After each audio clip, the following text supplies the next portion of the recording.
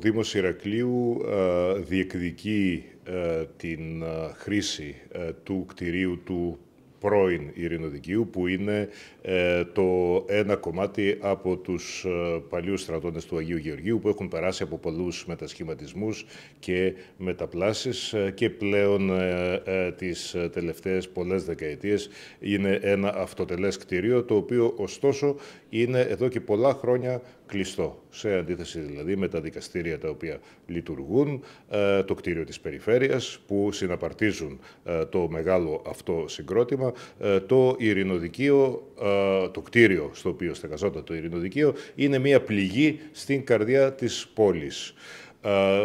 Το, είχε, το 2016 είχε γίνει μια κρούση για την παραχώρησή του στο Δήμο. Είχα την ευκαιρία στην συνάντησή μου με τον Υπουργό Οικονομικών να ανανεώσω το αίτημα αυτό. Η συνάντηση έγινε τον Ιούνιο του 2024 και σε συνέχεια αυτής της συνάντησης, στην οποία παρέστη και η Διευθύνουσα Σύμβουλος της ΕΤΑΔ, ε, έστειλα αυτήν την επιστολή με αρκετή τεκμηρίωση.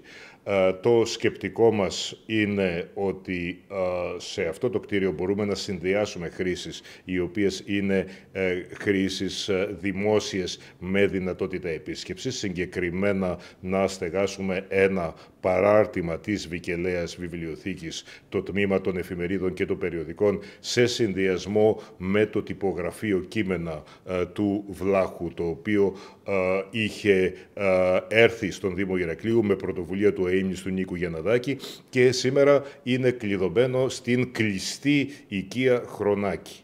Βλέπει λοιπόν κανείς ότι σε αρκετές περιπτώσεις έχουμε πράγματα τα οποία δεν αξιοποιούνται, αλλά το κυριότερο ζήτημα εδώ είναι η αξιοποίηση του δημόσιου κτηριακού αποθέματος. Και αυτό είναι ένα συνολικό πρόβλημα, το οποίο και εμείς το αντιμετωπίζουμε με μια συνολική στρατηγική η οποία θα ξεδιπλωθεί. Μέρος αυτής της στρατηγικής είναι η διεκδίκηση αυτού του κτηρίου, στο οποίο, όπως είπα, θέλουμε στο ισογειό του να στεγάσουμε ε, χρήσεις ανοιχτές προς το κοινό της Βικελαίας Βιβλιοθήκης και στους ορόφους του δημοτικές υπηρεσίες, πράγμα το οποίο θα οδηγήσει και σε έναν εξορθολογισμό ε, των, ε, της, ε, των ακινήτων μας, διότι γνωρίζετε ότι ο Δήμος έχει ακίνητα, μισθώνει όμως και ακίνητα και συνεπώς θα προκύψει μια εξοικονόμηση και από την πλευρά αυτή. Το κτίριο πρέπει να επισκευαστεί, έχει πολύ μεγάλη ανάγκη επισκευών. Αυτό είναι ένα ζήτημα το οποίο θα το μελετήσουμε από τη στιγμή που θα έχουμε ε, την θετική ανταπόκριση ε, του Υπουργείου Οικονομικών και ειδικότερα βέβαια της ΕΤΑΔ η οποία ε, έχει τη διαχείρισή του. Αυτό όμως το οποίο τόνισα στην επιστολή μου είναι ότι το σύνολο του συγκροτήματος θα πρέπει να εξασφαλιστεί ως προς την δημόσια χρήση του. Δηλαδή ότι δεν θα πρέπει να γίνονται σκέψεις αυτό το συγκρότημα ε, να ε, χωριστεί και μέρη του να αποκτήσουν κάποιες εμπορικές χρήσεις αλλά να παραμείνουν σε δημόσια χρήση, πρέπει να αντιμετωπιστεί σαν μια ενιαία οντότητα, όπως και είναι μέσα στην πόλη. Αυτό το οποίο είπα προηγουμένως, νομίζω ότι θα πρέπει να διευκρινιστεί λίγο. Δηλαδή, υπάρχουν πολλά δημόσια και δημοτικά ακίνητα και κτίρια.